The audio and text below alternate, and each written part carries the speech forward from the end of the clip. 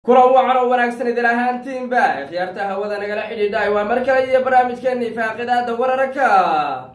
Qodobadaad wararkeenna ku maqli doontaan waxaa ka mid a galbeedka city ee dowlad deegaanka soomaalida dagaal faraxa lagaga gubtay ayaa dhex maraya ciidamada soomaalida iyo ciidanka deegaanka canfarta ee weerarka xoogan ku haya galbeedka city ciidamada dowlad deegaanka soomaalida ayaa gacanta ku dhigay ugu yaraan toddoba deegaan laba saldhig ciidan iyo magaalooyinkii waaweynaa garbaciisa candhuufa cadayto oo gebi ahaanba go-doon weyn ku jira iyadoo candhuufa iyo cadayto ay ciidamada soomaalidu ay kala xidheen. Gebi ahaanna labada magaalo ay go-doon kala galeen. Deegaanada ay ciidamada ligu booliska ee deegaanka soomaalidu ay gacanta ku dhigeen waxaa ka mid a wajibuur dhabar balarshe qudaar iyo xigle iyo deegaano aada u tiro badan oo galbeedka city oo markii hore ay gacanta ku hayeen xogaga canfarta ciidamada soomaalida ayaa sheegay labada saldhig ay qabsadeen inay ku yaalaan duleedka garbaciise oo ciidamada canfartu ay sanadadii ugu dambeeyeyba ay ku amar taagleynayeen qodobada kaleed wararkeenna ku maqli doontaana waxaa ka mid a wasaaradda gaashaandhigga ee dalka ethoobiya ayaa sheegtay inay dowladda etoobiya toban kun oo ciidan ay u diri doonto xuduudaha ay soomaaliya la wadaagto iyadoon ogsoonin dhowaan inay ciidamo saddex kuna oo gaadiid aada u tiro badan wata ay ciidamada dowladda soomaaliya ay kaga hortageen duleedka matabaan ciidamadana gudaha etoobiya lagu celiyey duulaanka etoobiya ayaa isa soo taraya iyadoo etoobiya ay doonaysa inay ciidamo aada u tiro badan ay ku harqiso gudaha dalka soomaaliya magaalada mooyaane oo ah xuduud saddex geesoodaha ayaa wajahaysa xaalad aada u adag iyadoo ganacsatadu ay ku dibadbaxayaan dhowaan ciidamada etoobiya weerar ay ka geysteen magaaladaasi hanti badanna ay ku dhaceen dad aada u tiro badanna ay ku dhaawaceen. Ganacsatada iyo dadka deegaankaasi ayaa dibadbaxyo waaweyn dhigaya oo looga soo horjeeday ciidamada dowladda ethoobiya qodobada kaleed wararkeena ku maqli doontaan waxaa ka mid a jabuuti iyo soomaaliya ayaa gebi ahaanba ka horjeestay muuse biixi cabdi inuu ku soo baxo doorashada dhowaan ka dhici doonta ama saddex iyo tobanka nofembar ka dhici doonta somalilan iyagoo taaray taageeray xisbiga mucaaradka. Muuse biixi cabdina gebi ahaanba dhabarjabin weyn ku sameeyey. Xasan sheekh maxamuud oo madaxweynaha jamhuuriyadda federaalka soomaaliya yaa firdhiye oo ah hogaamiyaha khaatuma state ayaa heshiis ballaadhan gaadhay puntlandna si weyn uga xanaajiyey sargaal sare oo ka tirsan dowladda ethoobiya oo warbaahinta etoobiya waraysi siye ayaa sheegay ethoobiya inay ka weyn tahay in ay bad hesho ama meel ay wax kala soo degto. Weerarkeeda ayna wejiga koowaad uu yahay sidii ay u heleen dhul ay ka difaacato berigeeda iyo webiga abay oo ah webiga sida weyn ay iskuga hayaan masar iyo ethoobiya qodobadaas iyo qodobo kale oo faah-faahsan aya warkeena ku eegaynaa barnaamijka waxaa igala qayb galaya saaxiibkay. Gooni gooni u soo dhawo waxaan tegaynaa galbeedka city ee dowlad deegaanka soomaalida xaaladdu way cakiran tahay. Gobolkaasi dagaalo culus ayaa ka socda. Jihooyin aada u badan ayna dagaaladu ay ku sii fidayaan. Ciidanka soomaaliduna horumaro waaweyn ayay gaan ugu yaraan toddoba deegaan oo ciidamada canfartu ay horay u deganayeen ama ay maamuli jireen iyo qabalayaal ayaa gacanta lagu dhigay. Laba saldhig oo duleedka garba ciisaan ayadana gacanta lagu dhigay. Canuufkii cadayta way kala goday canfarta jabkii abid ugu cuslaa ayaa gaadhay gooniow dagaalka xaggee la kala marya xaaladda galbeedka city maxaa ugu dambeeyey? Shidoo aad iyo aad aa mahadsan tahay canfarta maalmihii la soo dhaafay ilaa labada beri oo soo dhaafay wadaandaansi ay ku wadeen soomaalida ayagoo markaasi dhowr maroo kala duwan weerar soo qaaday laakiin weerarka soomaalida oo diyaarsan ayay weerar u tageen sidaas daraaddeed waxaa ku dhacay jab xoogan kala carar dhaawac iyo maxaabiis laga qabtay. Intaba way qabsatay. Shalay darhaadna dagaaladii dhacay waxaa fashil weyn ayay kala kulmeen. Ugu dambeyntiina waxaa dhul badana laga qabsaday oo deegaano aada u muhiim ah ayaa laga qabsaday. Deegaanada hadda la kala jaray candhuuf iyo cadayto waxawaaye waa deegaano muhiim ah oo markaas dhulkii marka hore soomaalida laga soo saaray. Sidaas daraaddeed waxay doonayaan soomaalida inay dib u qabsadaan. Hadda canfartu waxay u qaldhaaminaysaa ama ay u wacatay. Etoobiyada sare ayagoo dhahay warna soo gaara. Xaaladdu way nagu adag tahay. Soomaalida waana jebisay meelada kale lasaga yimid eletrina dagaal ku jiro soomaali kalea ku jirta muqdisho kismaayo laga yimid wax walba ayay qaldhaan ay markaas ku wadaan. Marka canfartu way jahwareertay siyaasad iyo wax beenaa laisugu dhiftay.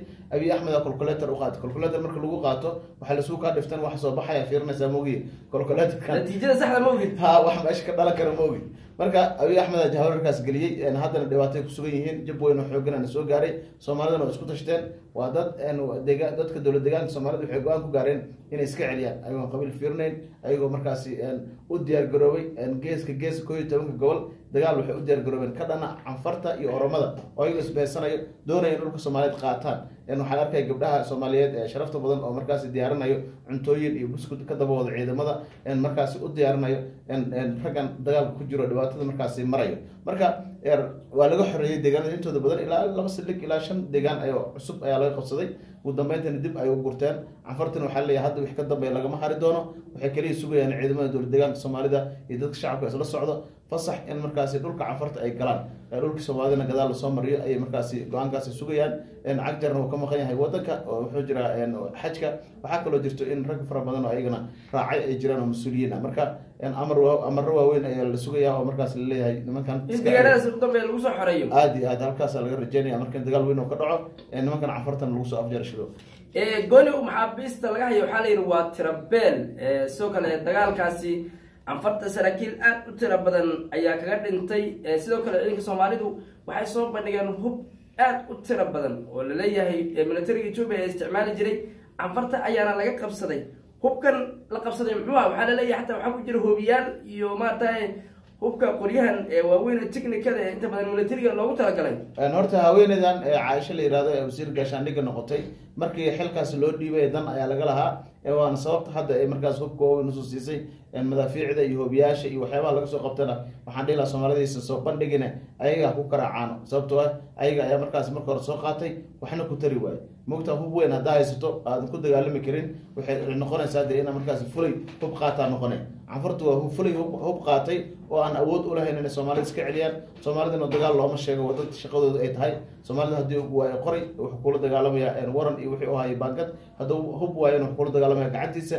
Soomaalida dad quusta ma ah waa dad go'aan leh oo markaas ka go-an tahay inay markaas geesinimadooda iyo noloshooda iyo sharaftooda iyo cirdigooda ay difaacdaan. Canfartuna waa niman duulaan ku socdo oo dulmi ku socdo oo dhul islaameed u ordayo qof dhul islaameed kulli baana lama sheegin. Dhimashadooda hadda intaas dhowr boqol ah hadda ay maraysaa muddooyinka ugu dambeeya dagaalada ka dhacay. Ilaa iyo haddana oo soo taagayin waxay leeyihiin maya waa soo socona marka waxaan dhihi lahaa canfarta wiilasha yaryarka ee waxbaran lahaa ee mustaqbalkale meesha ku dhamaynine soomaali waxba kama qaadaysan guryihin iska jooga waa mahadsan tahay gooriow sidoo kale wasaaradda gaashaandhigga ee dalka ethoobiya war-saxaafeed ka soo baxay waxay sheegeen toban kun ciidan ka badan inay u direen xuduudaha soomaaliya si amniga dalka etoobiya u sugaan. Maxaa soo cusloona soo cusboonaaday oo etoobiya ay ciidamada saa ugu tirada badan ay ugu soo diraysaa xuduudaha? Ma saasaan colaadeed baa ka socota deegaanadan udhexeeya soomaalida iyo soomaaliya iyo iyo dalkaasi etoobiya horta soomaalida iyo ethoobiyankana isfarasaareen shaki la'aan waaye sababtoo ah etoobiya waxeed waa daandaansi meel walbana waxaa waa lugta ayay gelisay. Sidaas daraaddeed waxay doonaysaa in ay kiiskii iyo heshiiskii badaha iyo ay la gashay muuse bixi inay qeyl u raadiso. Isla markaana tiraa dhul iyo badaa naga maqan dagaalna ay ku qaadaan soomaalida. Laakiin waxaysan aqoonin soomaalida inay dhib badan kala kulmi doonaan. Aysan dhulkoodana qabsan karin. Waa ogeed in maxkamadihii markii ay jireen maxkamadihii ay weerareen. Iidaala meel yihahda dhaafi waayeen oo markaasi ay wax yar xataa dhaafi waayeen dhibaato ay ka mareen oo muddo toban dhowr beri ah halkaas lagu celinayo marka amxaaradu iyo maxaan isla socday iyo canfartooda iyo qashinkooda ilaa iyo maxaa oromadooda waxba kama keeni doonaan natiijo gudaha soomaaliya. Ethoobiyan waxaa le ku ceewi doonta ku fashilmi doontaa soomaalidana waa dad wada dagaalyahan. Nin walba meesha uu joogo ayuu ka dagaalama xitaa ciidan ayadoo la sugeyn oo arkaysa booliiskii matabaan ay ka hortagay nimanka la yihahdo ethoobiyaanka ee hubka ula baxay yiri halkan ma soo geli kartaan in wax walba sheegtaan magaalada idinma ogolin. Marka taas waxaad dareemaysaa in qadiyada soomaalida ay ku weyn tahay aysan ogolaan doonin dhulkooda in beenbeen lagu galo walow ay jiraan siyaasiyiin ama dad maxaa la yihahdaa wax magarato ah ama dad xildoon ah ama dad maamul goboleedyada madax ka ah oo markaasi aada u hoosaasinayo ama etoobiyaanka soo jiidanayo. Etoobiyaanka been u sheegaya. Etoobiyaanka been u sheegayo dhahayo soo soo soo gala. Annaga xilka nagu hayo inaysaana soo gala.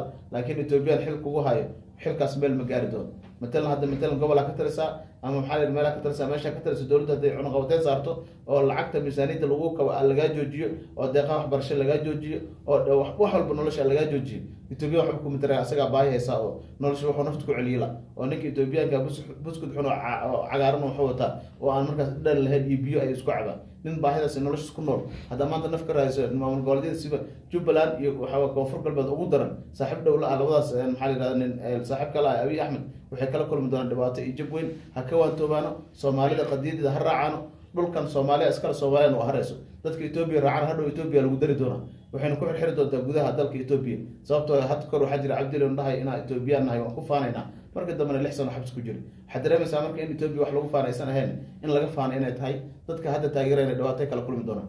Waa mahadsan tahay gonia waa dhab xaaladda etoobiya aada bay u cakiran tahay.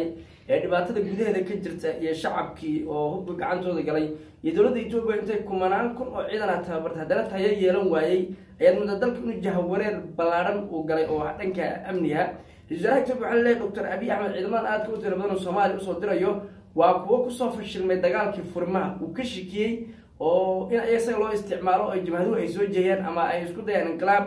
Waxaas marka ciidamadan aadka u badan ee qulqulaya waxaa la leeyahay waa wax isdhaafisa. Oo maaragtay dan weyn oo laga leeyahay ayna jirin. Waxaan ogsoonahay militariga etoobiya inuu ku soo jabay waqooyiga etoobiya gaar ahaan gobolka tigray kadib markii tigraygii laga soo laabtay guulna laga keeni waayey ciidamada etoobiyada waa kay dib ugu soo laabteen adisababa iyo deegaanadii dowladdu ay ka talinaysay haddana dagaalka xamaarada ayaa qarxay. Mar kale ayaa lagu celiyay dagaalka xamaarada wax natiijo ah waa laga keeni waay hal sano ayuu galay. Hadda hawshuna marba marka ka dambaysa way ka sii daraysaa marka ra'isul wasaare waxaa la leeyahay ciidamadan aadka u badan ee qulqulaya ee xuduudaha jabuuti soomaaliya kenya meel kasta yaacaya.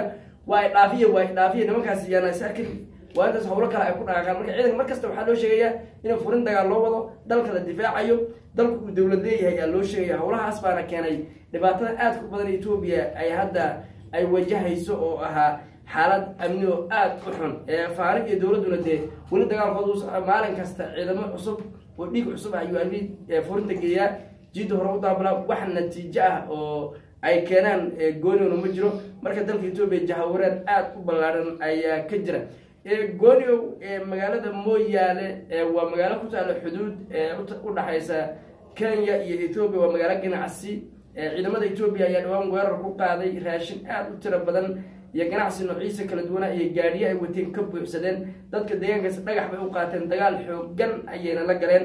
Dagaalkaasi askari etoobiyaan ayaa ku dhintay baa la yidhahay dadka deegaankaas difaacayay ay la galeen kuwo badan oo dhaawacana way la carareen. Kadib magaalada bandow baa lagu soo rogay ciidamada etoobiya ayaa lagu soo daadiyey wax ganacsi oo la furi karana male bali albaabada laiskugu laabay. Dadkuna kacdoon weyn ayay dareemayaan. Marka gooniow xaaladan maalin ka hore waxaan ogeyn qaxootiga qolaji iyo deegaanada dhadhamane inay ormadu weerar ku soo qaaday. Ayadana saddex nin ay ku dileen dad badanna ay ku dhaawacmeen. Canfarta waata loo ayadana weli hawsheeda ay taagan tahay. Maxay yihiin weeraradan joogtada ee dadka soomaaliyeed lagu hayo baryahan horta waa sheegnay abiy axmed wuxuu ugu talagalay in dhul kastoo soomaalida joogto inay dhibaato dareento. Midda kale koo iyo tobanka gobol ee soomaalida degto gobol la dhaafayo ma jiro. Gobol kasto in oromo lagu diro ama canfar lagu diro ama ciidamada etoobiya lagu diro ama qorshooyin kale lagu sameeyo oo dhibaato loo geysto waa muhiim. Waxay leeyihiin in dhulkan soomaalida aysan nabad ka dhicin aynan nasanin oo habeen maalin dagaal ay ku jiraan rafaad ay ku jiraan qax ay ku jiraan ayaa lagu talagalay. Dhulkan hadda mooyaale hadda kor isku dayeen ciidamada etoobiya inay la wareegaan oo waatii lagula dagaalamay oo ay markaas ka rabeen in laga saaro soomaalida. Waana ku dagaalameen soomaalida oo ay suurageli weysay. Marka mar walba waxay sameeyaan dhul kasta oo soomaali joogto ama oromo ha adeegsadaan ama canfar ha adeegsadaan ama dowladda etoobiya iyo ciidamada ha adeegsadaan waxay mar walba isku dayaan dhabar jibiyaan dadka soomaalida oo qax iyo barakicin iyo meel walba isdhahan meeshan dhadhama ku jirto ama waa meel istraatiijia inay ka saara isku dayaan. Hadda dagaalka city in tareenkaas waddada marto in laga fogeeyo soomaalida loogu talagalay iyo in jabuuti mustaqbalka etoobiya qaadato labadaas qorshaa lagu dagaalama. Hadda meeshan maxaa la yihahdaa mooyaale waa meel istraatiiji oo xuduudda kenya iyo markaasi udhexeyso etoobiya inteeda kale markaasi kala hagto oo center lamara ah centerkaas marka waxay leeyihiin yaysan ka talin soomaalida ha ka taliso qolo kale oo etoobiyaan si dadkaas kale hadhow gumaysi loo diransiiyo marka culeyskaasi soomaalida waxay u soo jeestay waa oromo oromo afguduudna tabar ma lahne ummaday wereerinaysa mogiye soomaali waxba kama cunayso waa las yaqaanaa dagaalka dhex maray taarikhda horena waa loogyahay haddana waa fashilmi doonaan cag weyn ayana kala kulmi doonaan hakawaanta wada dhihi aad baad umahadsan tahay gooniow magaalada jigjiga ee caasimada dowlad deegaanka soomaalida ayaan tegaynaa magaaladaasi waxaa ka dhacaysa doorasho aada u adag oo dadka deegaanku ay si weyn ay u hadalayaan magaalada jigjiga doorashada ka dhacaysa waa xildhibaanadii baarlamaanka ee dowlad deegaanka soomaalida ee mateli lahaa ama gobolka faafan ee mateli lahaa.